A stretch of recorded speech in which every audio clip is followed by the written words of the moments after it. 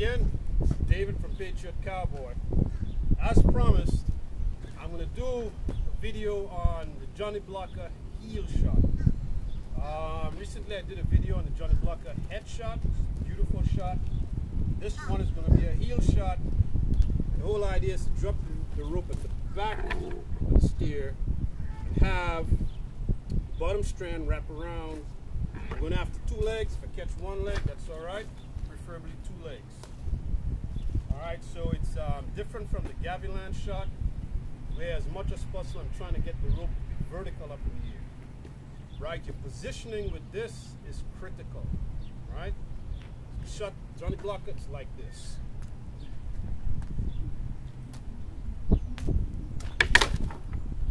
All right, so again, rope dropped back of the steer.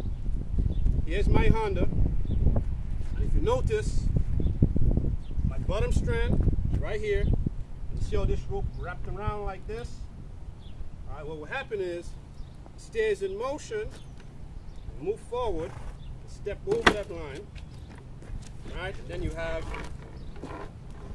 two legs. All right, so that's the Johnny Blocker heel shot. Next up, up next is the El Del Viento heel shot. Much obliged, David from Patriot Cowboy. Thank you.